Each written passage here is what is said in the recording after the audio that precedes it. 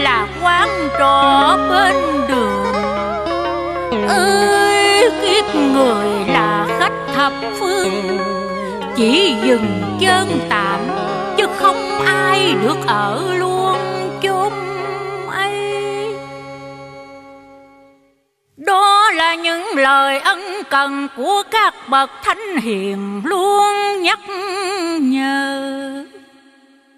Người hỡi, người ơi vì chuỗi thời gian không dừng lại.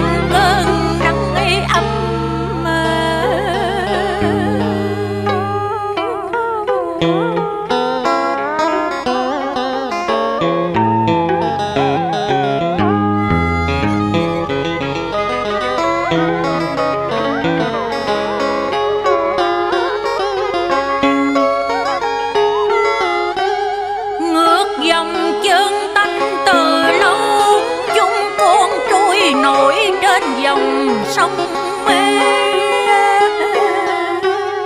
là phật.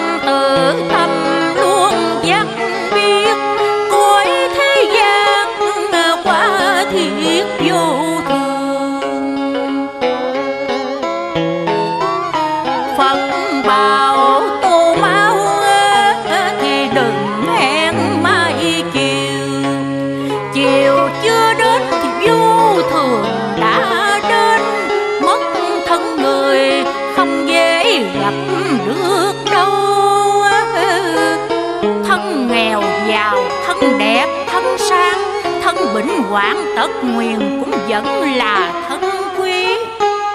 Đừng có nạn chi hại quyết tâm niệm Phật.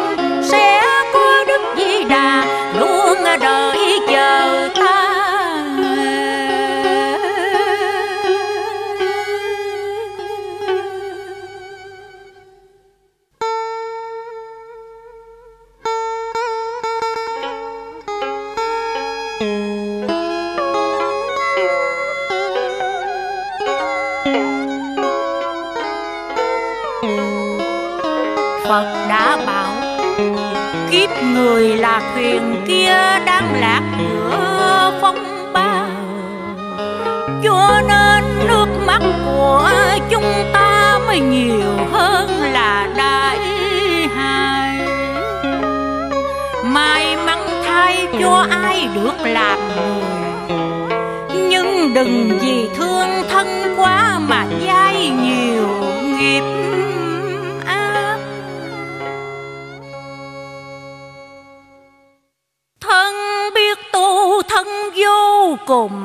quý bao. Thân chẳng tu thân nhiều phiền não, Rồi năm tháng qua mau Đành khô heo chốn dương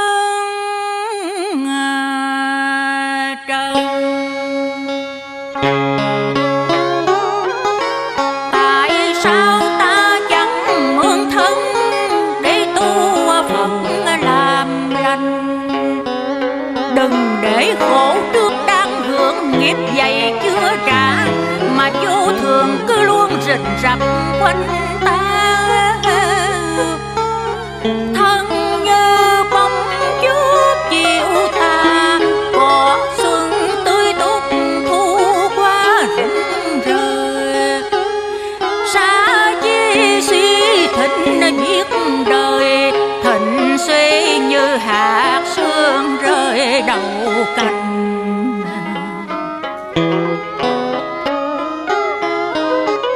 Phật tử chúng con xin khắc cốt ghi tâm những lời của các bậc hiền nhân thường để lại. Sao đường ân ai